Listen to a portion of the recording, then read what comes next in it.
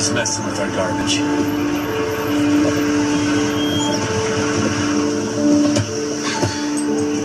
That man has been here 20 minutes, knocking on your door, looking in your windows. Excuse me, sir. You mind not digging through my trash, please? Detective Frank Blanchard, Webster Falls Police Department. Ma'am, would you please take the dog away?